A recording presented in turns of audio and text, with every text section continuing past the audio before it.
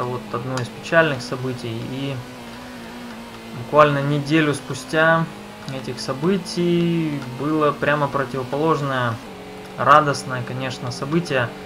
А, оно радостное было для всех, для всего, так скажем, мира Формулы-1, но для нас, для э, русских, для россиян, для России это событие было,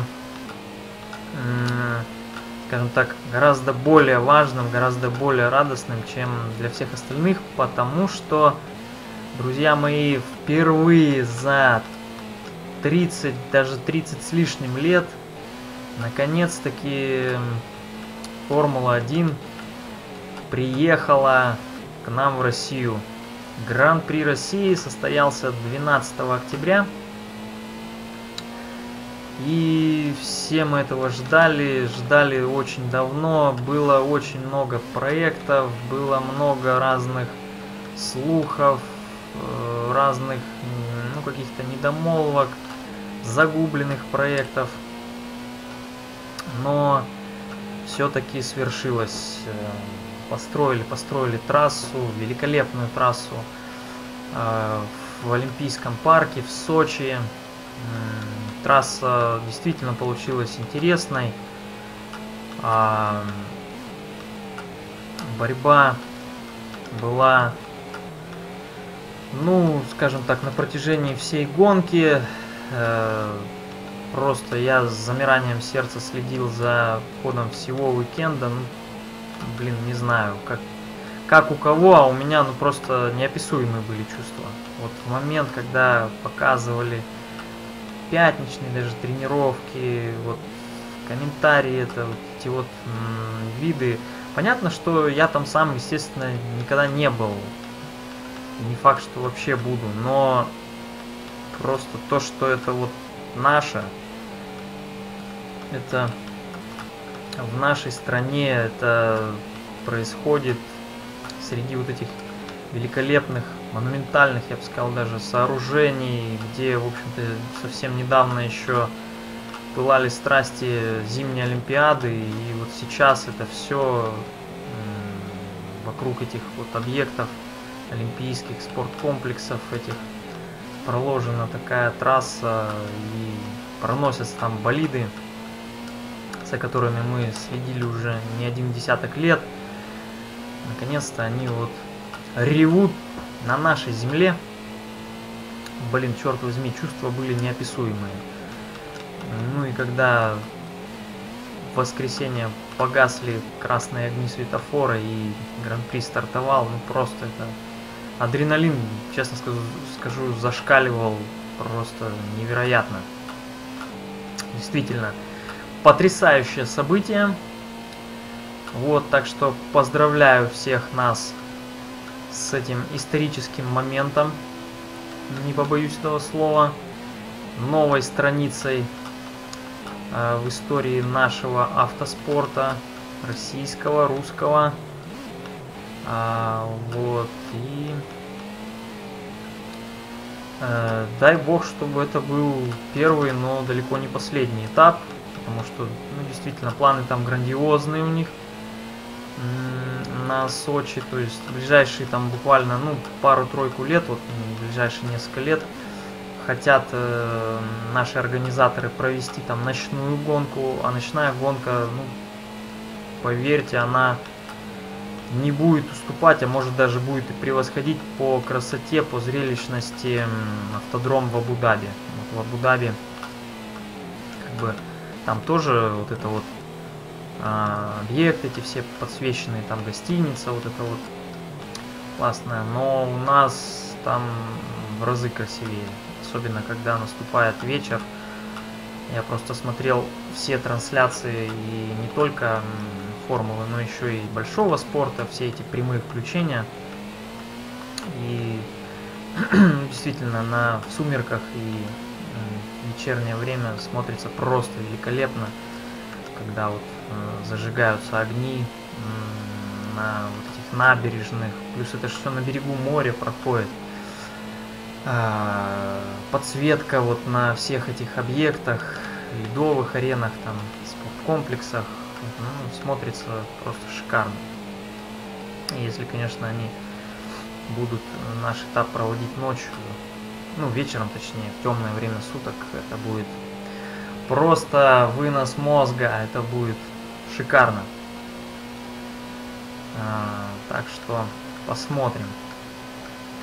Вот, что нас, чего нас ждет в ближайшее время, но отрадно, что вот только положительные отзывы были как со стороны гонщиков, так и со стороны команд, э, со стороны Берни Эклстоуна.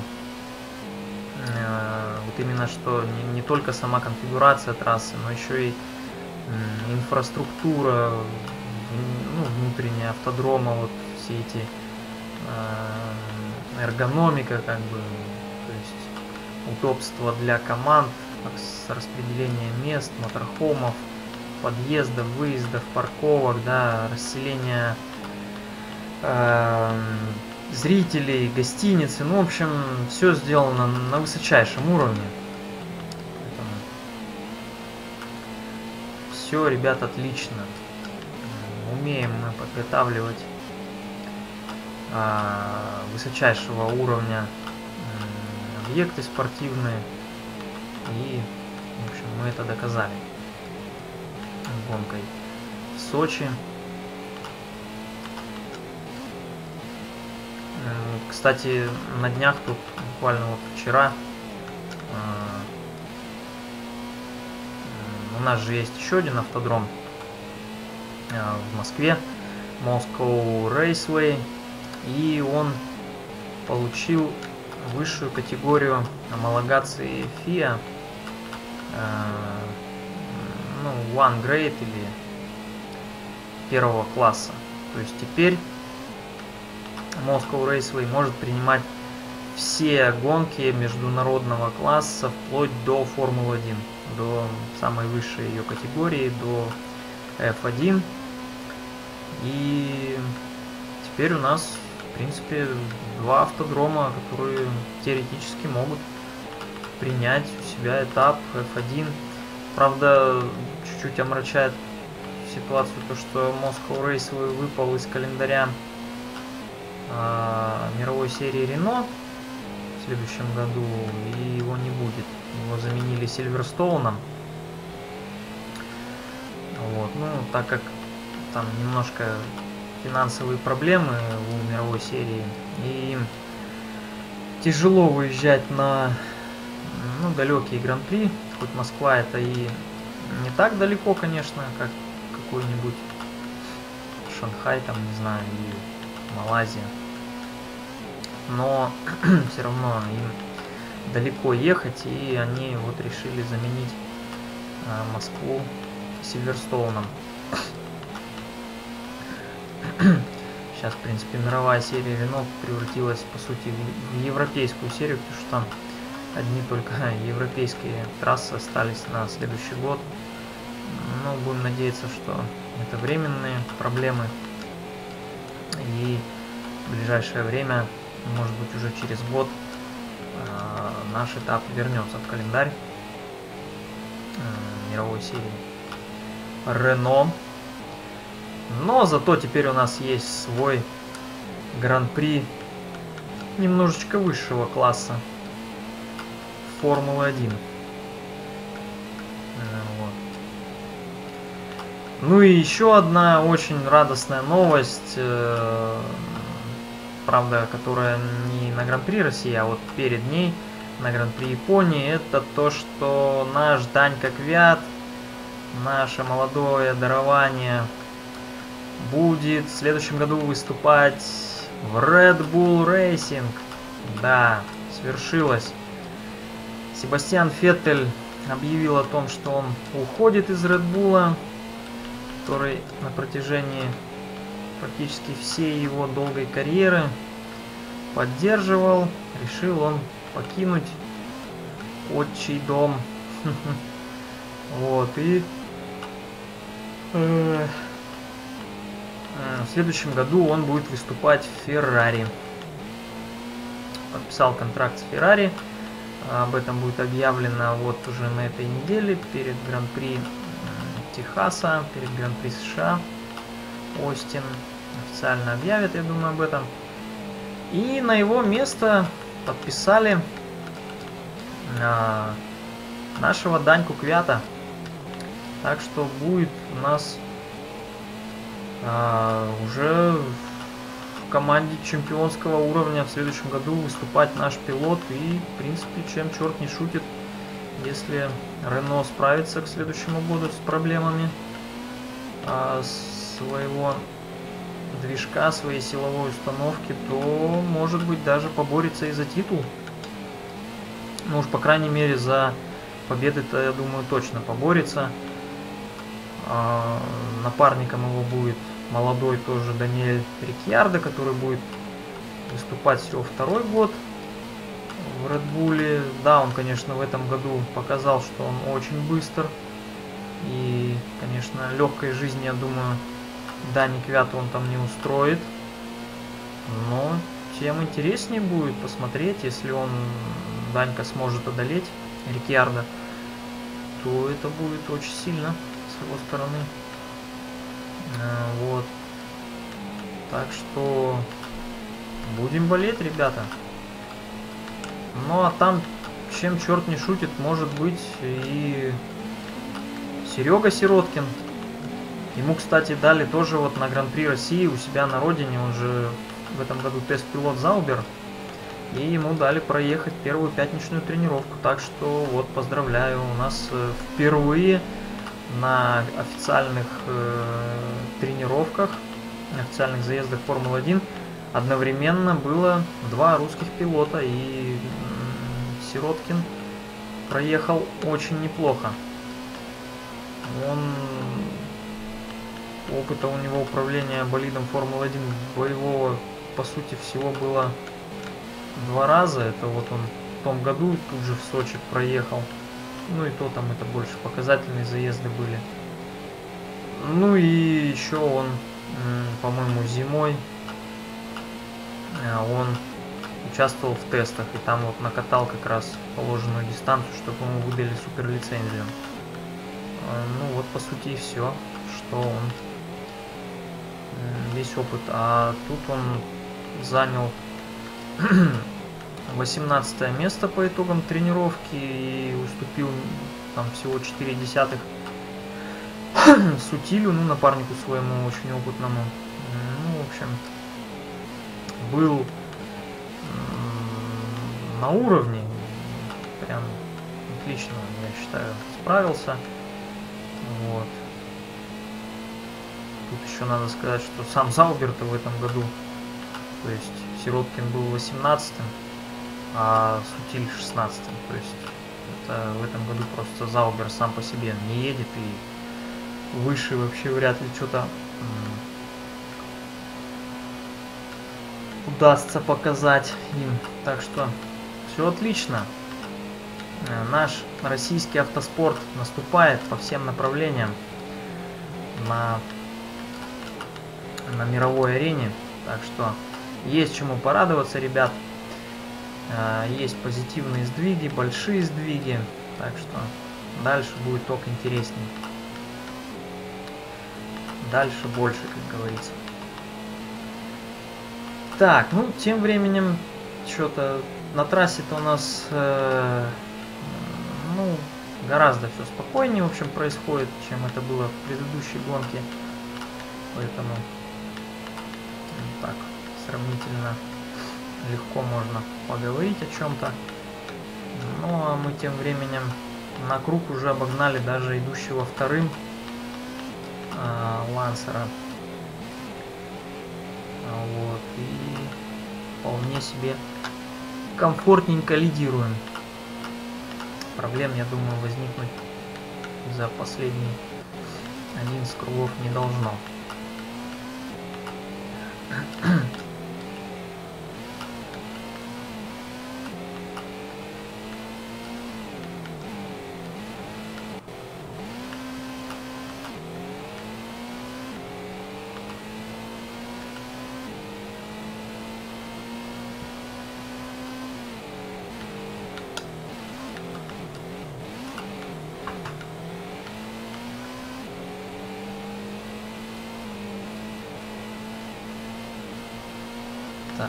пускай у нас примерно за 10-11 кругов съедает комплект покрышек. Так что я думаю, через кружочек надо будет на пидстоп-то заехать последний. Вот.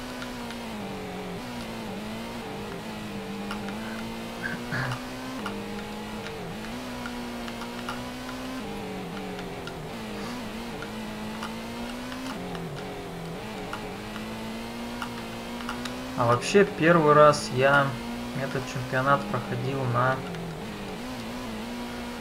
э, на FTO LM Edition. Ну, она у нас есть. Это классная машинка. И вот э, Поли, вот тот как раз, который предыдущий был, проходил Леха. А, а вот этот чемпионат достался мне. И его я проходил на ФТОшке.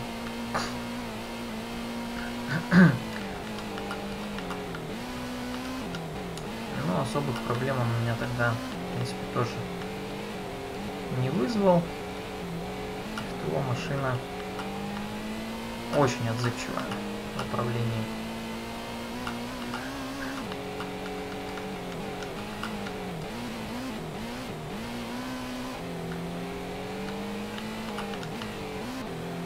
Перепроходить, значит, Гранд Воли я буду на том же самом NSX. То есть я не планирую, ну, менять машину, в общем.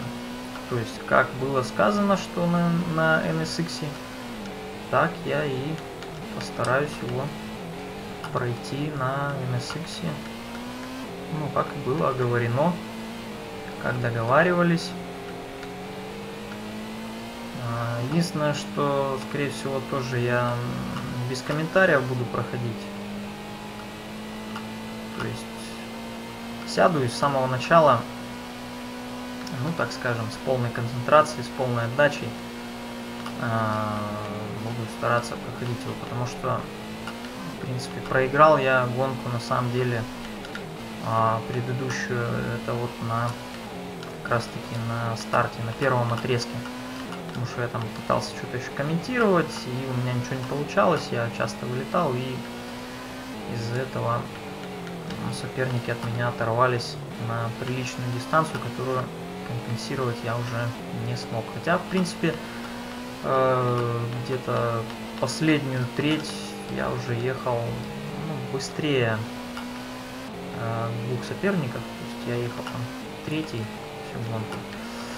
И мне удалось все-таки ГТР догнать и пройти. Я даже начал догонять потом ГТО, ГТОху, но так и не успел ее до финиша достать.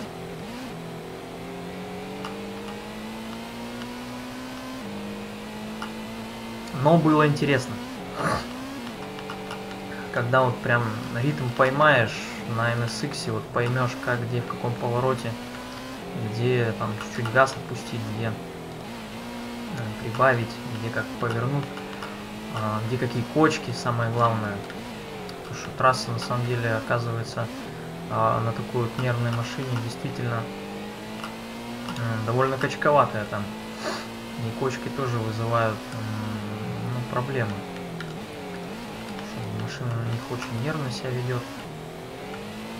Вот, и когда, я говорю, вот на, нащупаешь нужный ритм, ну там просто кайф такой неописуемый э, выжимать из нее все. Так, ну что, заезжаем на последний пидстоп этой гонки. Вот в итоге у нас а, с двумя пидстопами получилась гонка. И сейчас последний отрезок из восьми кругов.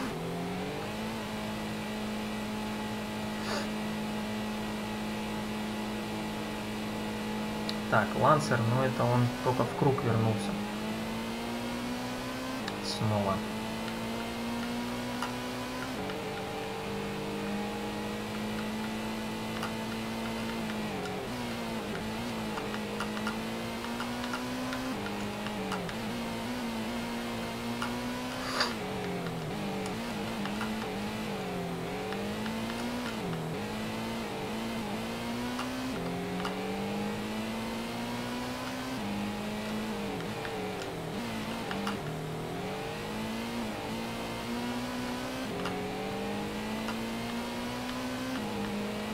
Так, парнишка. Фары-то врубай. Тут тебя как бы лидер догоняет.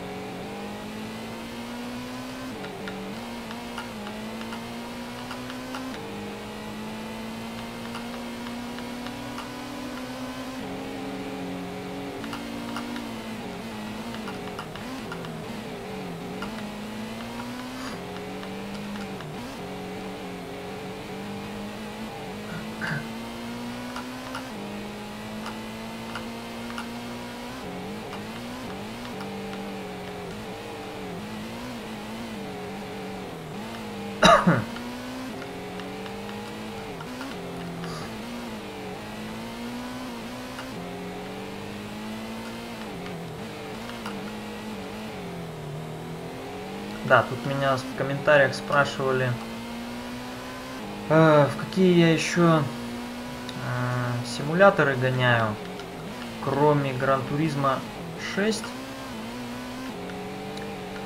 Э, в принципе, на данный момент я не гоняю ни в какие автосимуляторы, кроме Gran Turismo.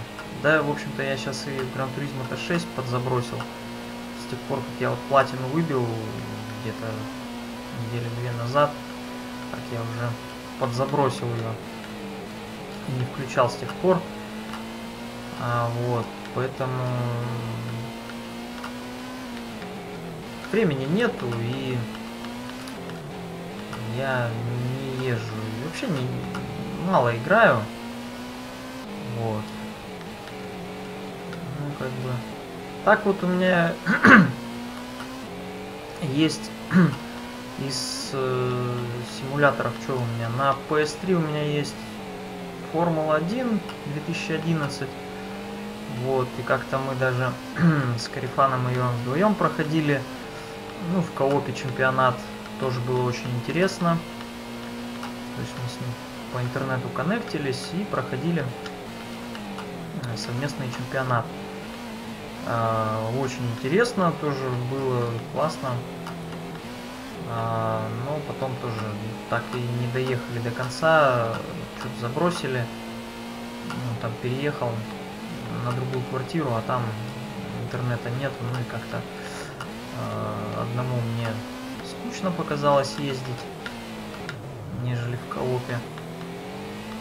Ну и так и не допрошли мы с ним это дело недавно я опять включал ее F1, F 2011 эту. А, так, поездил чуть-чуть, но что-то как-то не то уже, конечно.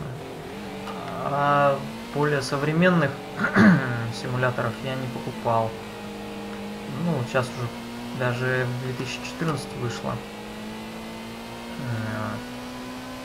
Или вот-вот должна выйти. По-моему, вышла уже все-таки конечно, но у меня вот только старенькая это Формула 2011 есть.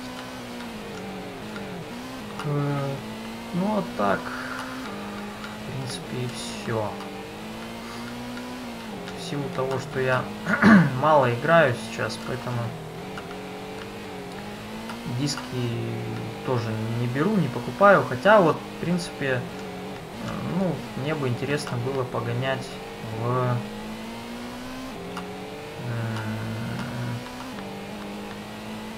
Как же она называется-то вот группа? По-моему, Assetto Corsa. А, вот нее мне было бы интересно погонять. Но, по-моему, она только на персоналку, если я не ошибаюсь. Ну, по крайней мере, на PS3 ее точно нету. Она, может быть, э, вышла на новые приставки.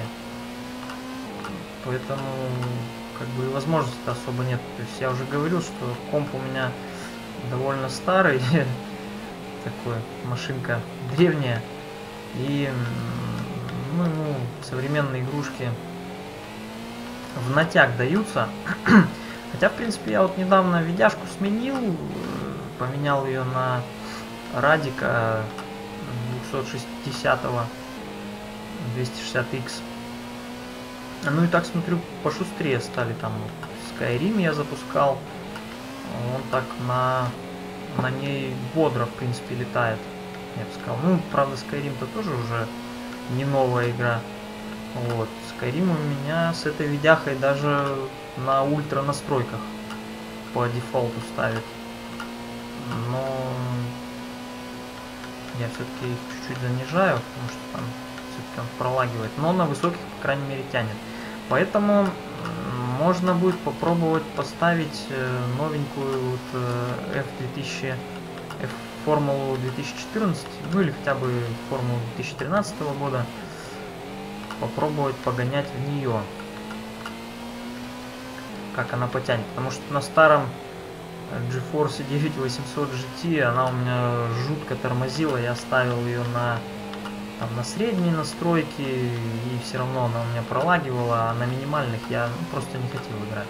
Что-то совсем как-то грустно все это, и я ставил ее, попробовал, я имею в виду формулу 2013 года, и снес, в принципе, потому что, ну, убого все как-то так получалось. Вот, а сейчас, в принципе, как я уже сказал, э, зима на носу, может быть времени будет чуть побольше, может я и поставлю снова 2013 э, года формулу, может даже что-нибудь посвежее. Но думаю, судя по уровню графики, я так на YouTube немножко смотрел, а с этого курса мне не вытянуть моей машинке, компу моему, железочкам. Э, так что Э, это вряд ли. Вот. Э, так что, ну как-то так. Ну а какие есть еще автосимуляторы? Ну, не знаю. Вроде бы там R Factor, да, такой, говорят, хардкорный очень симулятор на компе.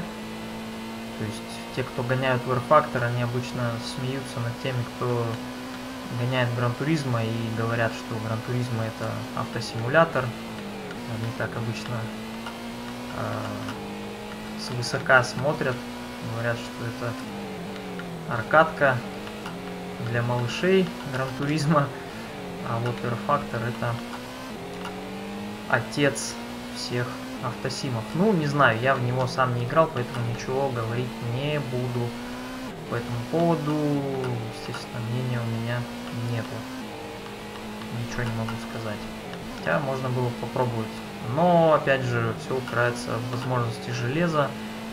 И не знаю, R-фактор, он, по-моему, тоже его там что-то там по графике так прокачивают. И э, не факт, что на моем железе он попрет. Так что, ну, может кто-то, если знает, напишите в комментариях. А вообще какие есть еще автосимы именно на компе. А, и, и что вообще они требуют по графике, по настройкам. А, вот, потому что не все у меня, к сожалению, потянет. Мой старичок.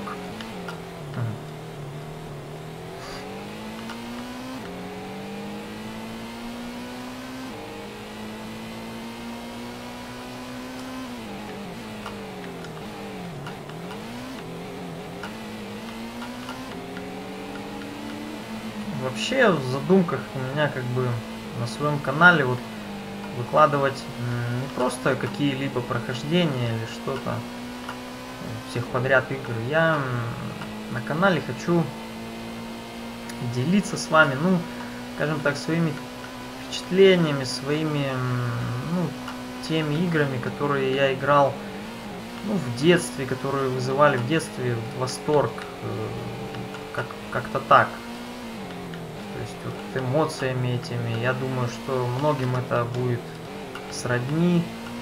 Э, то есть те, кто в то же время был в том же возрасте, что и я примерно, я думаю, будет интересно, приятно тоже вспомнить те былые вот те игры, в которые мы играли, э, те эмоции, тот восторг,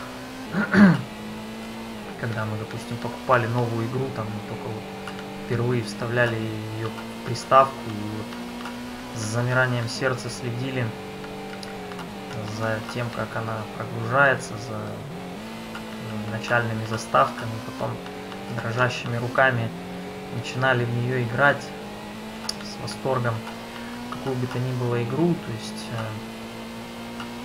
э,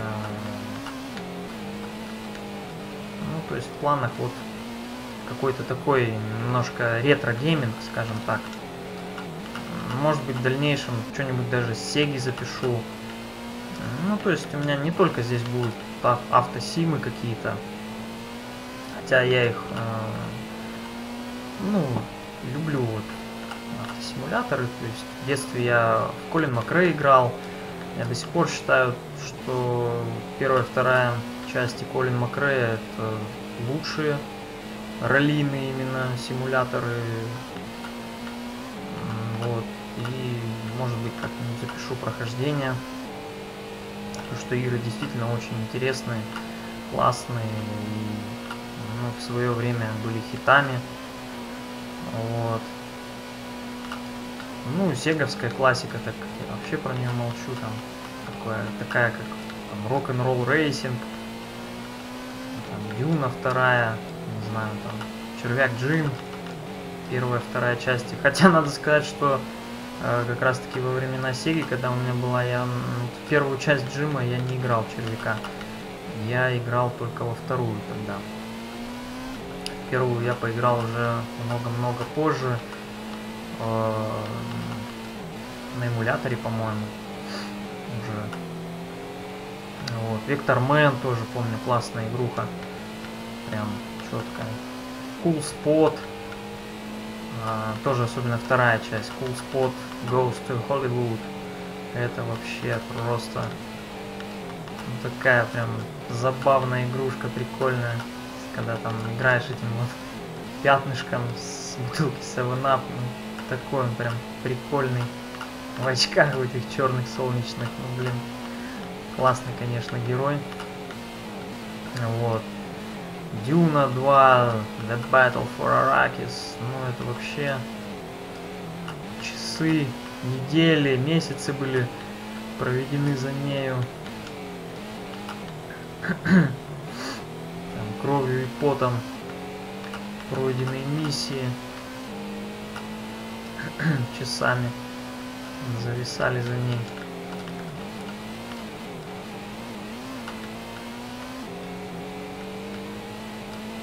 А, недавно, кстати, вот буквально на днях тоже был у отца в гостях. И нашел таки у него старые-старые свои вкладыши турбо. Хм, я даже был немного удивлен, что у меня их столько. У меня что-то в памяти отложилось, что ну, не настолько у меня их э, много, оказывается, что там, ну, например, Турбоспорт у меня ну, всего там нескольких номеров не хватает для прям полной коллекции. Тоже видел там в Турбоспорт э, как раз таки NSX есть, вот на котором мы с вами предыдущую гонку гоняли. Такой он там красавец тоже красный, красной раскраски, Kenwood, он основной спонсор. А, тоже прикольно было его там увидеть. Вот. Но я уже в каком-то из видео рассказывал по части вообще жвачек турбо и всего этого увлечения собиранием вкладышей. Конечно, тоже была большая часть нашей жизни в детстве. Увлечением таким большим многих пацанов того времени. Ну и, естественно, меня стороной оно тоже не обошло. Вот. Так что интересного всякого было много.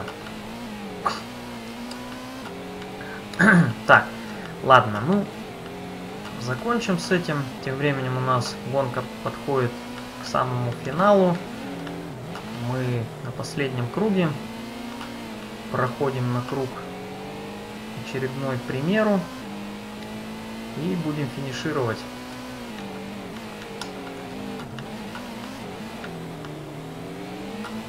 Как, сопротивляется. Не хочет, блин, на круг меня пускать. Зараза.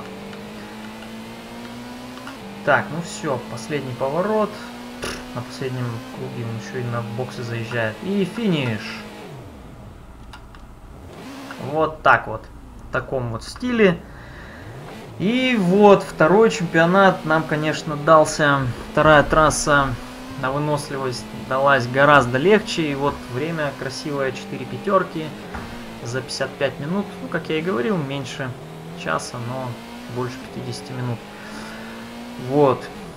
Пройдено. И сейчас будем получать награды. Так, реплей не будем смотреть. Слишком уж долго. Так, сейчас посмотрим. Лучший круг у нас, да, ну после последнего подстопа мы его на 22 круге совершили. И на 25-м лучший круг 1.45,9. ну что ж, неплохо, неплохо. По пообщались. Вот, видите, за первое место 150 тысяч. А там нам за... За второе дали 200. Так что... Тот, конечно, чемпионат гораздо серьезнее. И по призовым, ну и по вызову, по сложности.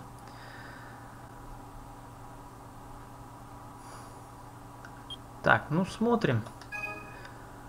Что нам там дали за машину призовую.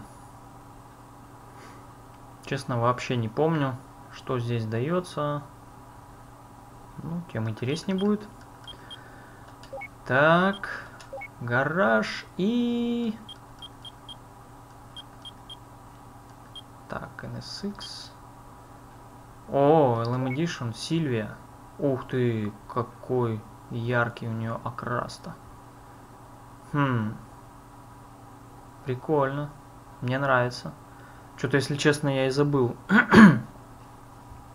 что первой части ха, есть Сильвия S14 Lam Edition.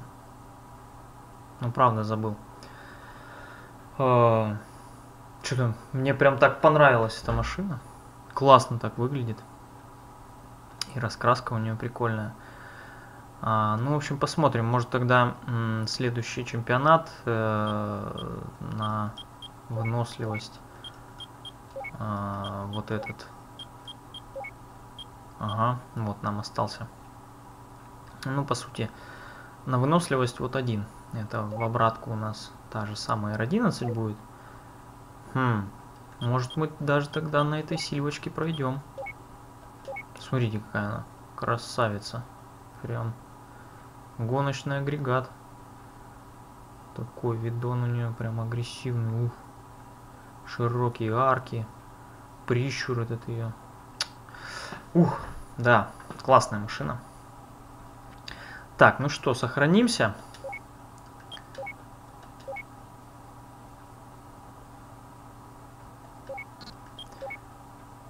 Ну и впереди нас будет ждать полноценный, значит, вот чемпионат R11 в обратку. Потом, как я говорил, перепройдем а, Гранд Волей.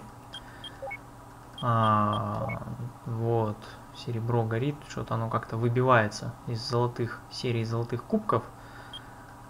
Нехорошо. Перепройдем его. Вот, и тогда уже примемся за вот последний чемпионат. Если я не ошибаюсь, то вот за него дадут Кастрол Супру и вот на Кастроле мы как раз поедем вот здесь. Вот этот супер чемпионат последний. Самый. И тем самым завершим нашу серию прохождений Гран Туризма 1. Вот. Ну а сейчас э, давайте будем прощаться. Спасибо, что смотрели. Спасибо, что комментируете, что ставите э, лайки. Мне это очень приятно, очень радует. Продолжайте в том же духе. Э, те, кто не подписался, подписывайтесь обязательно. Вот нажимая вот на эту кнопочку внизу. И будем с вами двигаться вперед. Ну что же, надеюсь вам понравилось. С вами был Скудер, как обычно, как всегда. Э, ну что ж, пока-пока. Увидимся в следующей серии.